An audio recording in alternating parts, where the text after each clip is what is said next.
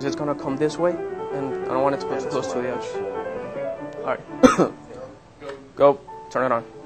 No, no, no. You gotta turn it on. Two positions. There you go.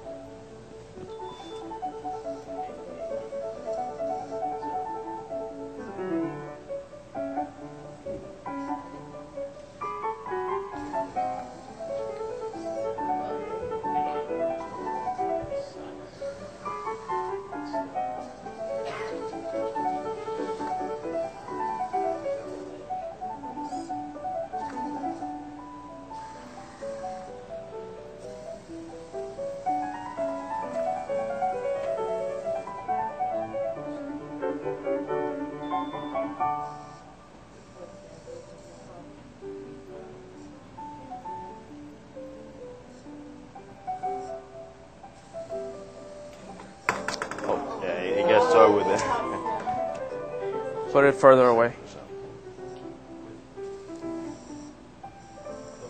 Frank, put it further away. No, there it is.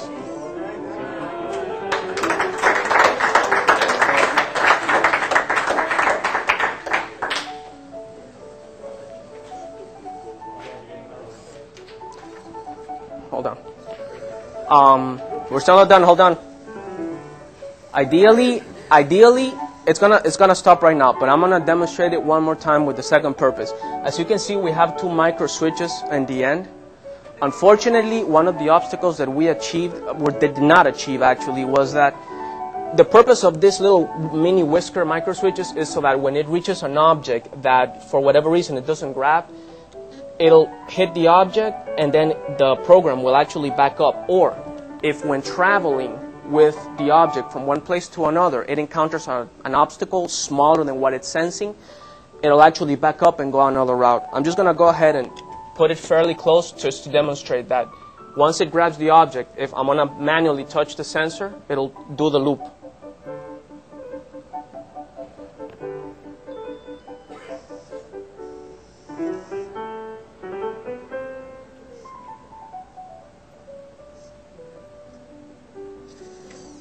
Okay, right now, it's gonna go back.